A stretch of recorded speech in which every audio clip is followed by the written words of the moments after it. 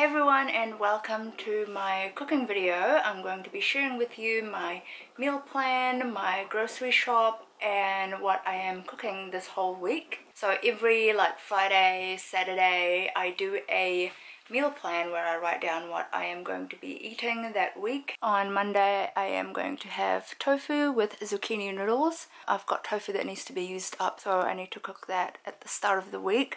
Then we have ricotta and beef baked pasta. Wednesday I'm going to have um, the leftovers because I'm going to cook quite a bit of that. Thursday I have dukkah from like Christmas time that I need to ease up so I'm going to make chicken uh, with couscous. And then Friday, um, I saw gnocchi in, in the supermarket, so I thought I'd try cooking that with chorizo and mozzarella. And then on the weekends will be like leftovers or eating out. I normally only eat rice like once or twice a week. I'm the only one eating the food and sometimes Tommy comes over so I would cook enough for me and him for dinner and then leftovers for my lunch the next day. So I make a shopping list on my countdown app and you can set it to um, your location. So it tells you what aisle it's in so you can find it really easily. And then I just go import it to the online shop. And then I just search it item by item. So there you go that's my list up across there and I can um, see how much the things are. So I'm going to take this to Fruit World and compare the prices like per kg and if it's cheaper at Fruit World or the butcher then I'll go buy the things from there and then the rest of the items um, like pasta and things like that I'll just pick up from Countdown.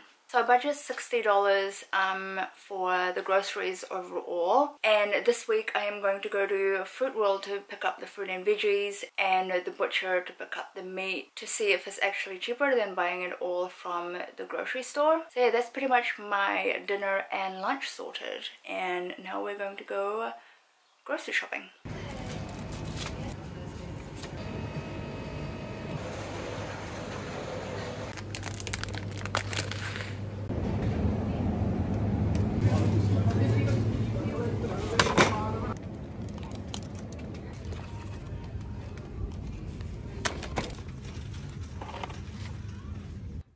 So this is my groceries for this week. This is what I got from Fruit World. I got a bag of spinach, onions, orange, lime, um, courgettes or zucchini, and I got couscous, which was surprisingly a lot cheaper than at Countdown. Um, I got cooking rice one as well, and then at the butcher I got some boneless, skinless chicken thighs, um, premium beef mince, and the rest I got from Countdown. Chorizo, spaghetti, got fusilli as well, um, gnocchi, mozzarella, a small tub of ricotta, and I even got a zester so all of this came to $60 exactly, including the zester. It was a lot cheaper to buy the fruit and veggies from Fruit World and the meat at um, a butcher rather than buying it all together at Countdown. So I managed to stick to my budget. It came to like $60 exactly, which I am very pleased about. It is much more convenient to just buy everything online and just pick it up, which I've been doing like over the past couple of years. Pretty much all the fruit and veggies and meat was cheaper at Fruit World and at the butcher rather than at Countdown. So it's a bit more effort and coordination, but um, if you're looking to save money, I recommend doing the same thing. So yeah, that's my meal planning and grocery shop process.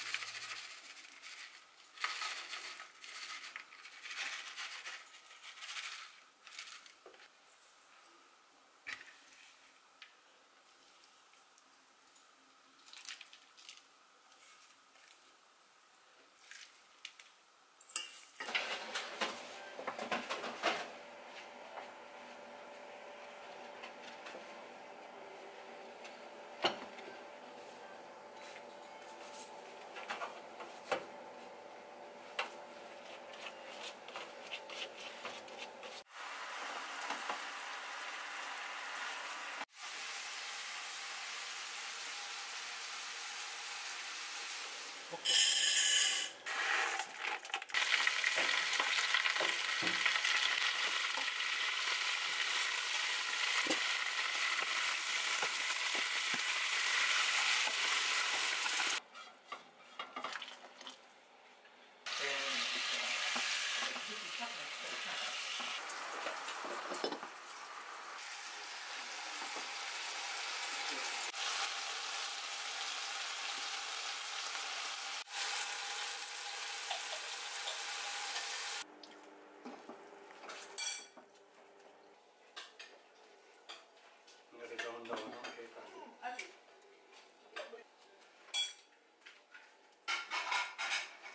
Sleeping.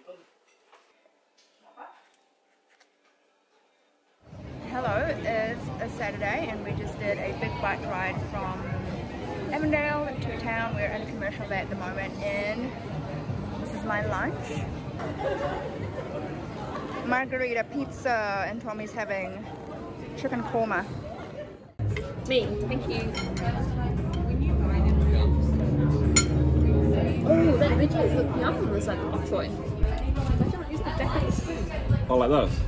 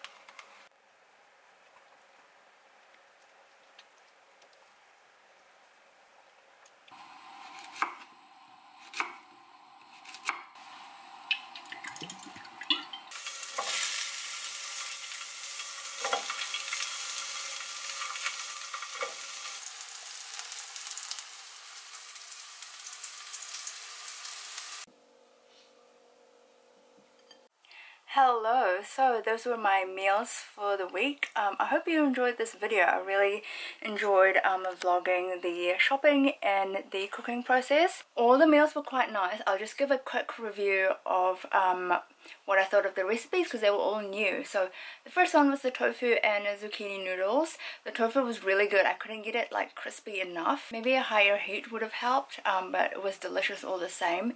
I didn't actually like it on the raw zucchini noodles. So the next two meals that I had with that for um, lunch and then dinner, I had it with rice. And it was really tasty and really filling as well because when I had the zucchini noodles, it was like two zucchinis and I wasn't like full so I definitely needed rice with that but if you're looking for like a light and very healthy meal the tofu and zucchini noodles is a winning combo and then I had baked pasta with the beef and ricotta. I've made that one several times and it's always so good. So filling and hearty as well. I love making it in the winter because it's warm and really cheesy. That made like several meals because I had it for dinner and then had it for lunch and then me and Tommy had it for dinner the next day and then I had it for lunch again. So like five servings. Then I had the grilled chicken with dukkah um, that was so good. I love chicken thighs. And I had it with couscous which was delicious. And I put spinach into the couscous as well as you would have seen. So another healthy meal full of proteins. And tonight I just made the gnocchi with um, chorizo and mozzarella. And I had some zucchini leftovers or courgettes. So I just grilled that with olive oil and salt and pepper. So good if you're looking for an easy way to just add um, vegetables to your meal so quick and easy. Yeah the overall dish was really nice. I think I was trying to find this chorizo that I got in my HelloFresh box one time. They're like quite big like full sausage size chorizo so not the sticks but I couldn't find that in Countdown. I think that would have been a lot nicer because um, these are like ready to eat sticks. I don't know I think it would have um, altered the flavor more if I use like the big chorizos but still delicious. Love the mozzarella. I think I should have used one can of um, tomatoes though. But I used both so it was like overflowing. But I looked it up after I cooked that in my carbon steel pan and apparently you're not supposed to use um, carbon steel for cooking acidic food so with canned tomatoes, I wasn't supposed to cook that because now the patina has gone off. It is gone. So I had to deglaze it after I cooked. So that wasn't fun. But yeah, lesson learned. That was what I cooked this week. We ate out maybe twice. Let me know if you enjoy these types of videos and I will film some more. I'll give you a glimpse of what I'm having next week. I've still got heaps of leftovers of the gnocchi and the chorizo so I'll have that tomorrow. The next meal I'm having is mac and cheese with pine nuts. I'm supposed to have ham but I forgot to buy ham today. With um like a breadcrumb topping with pine nuts. Pine nuts are so expensive, I didn't realize it but um that was a HelloFresh recipe that I just keep recreating because it's so delicious. So I'm having that with um, some more grilled zucchinis and then I've got beef bulgogi because I found the beef bulgogi cut in my butcher. Oh and then I've got a Chelsea Winter recipe which is meatballs and I'm gonna make cauliflower rice which is like this thing that I found while I was scrolling on YouTube because I watch a lot of like American YouTubers so that popped up and I was like cauliflower rice? It's just grated cauliflower. But I found like a cauliflower rice that's like fried so it's like fried rice um, but it has like cauliflower, broccoli, corn and carrot and courgettes and onion just like fried in a pan. So that looks super delicious. I'm gonna have that with the meatballs. So yeah that's what I'm having this week. And my groceries only added up to like uh $40 so I'm super happy. So yeah, I hope you guys enjoyed this video. Let me know if you like it and you want me to film some more. And I hope it inspires you to cook some delicious dinners and have leftovers for lunch rather than buying it. Thank you for watching. Bye.